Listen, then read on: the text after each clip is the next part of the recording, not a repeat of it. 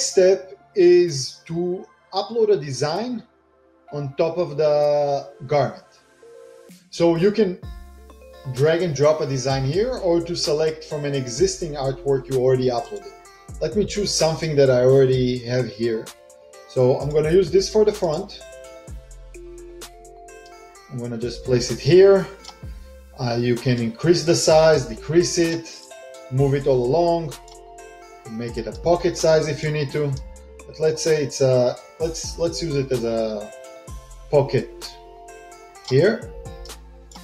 The size is also adjusting from here if you'd like, the height, the size. Put it here. Um, how many colors this design have? Just one, black. Okay.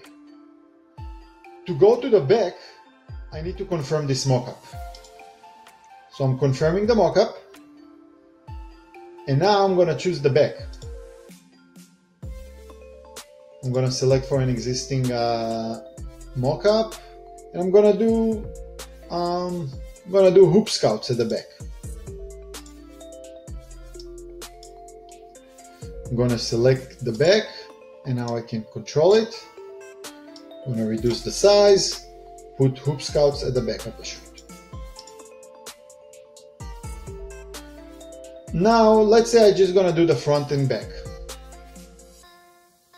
For this, the hoop scouts have orange and black in it. So I'm gonna use uh, this orange and this black. Again, I need to confirm the mockup.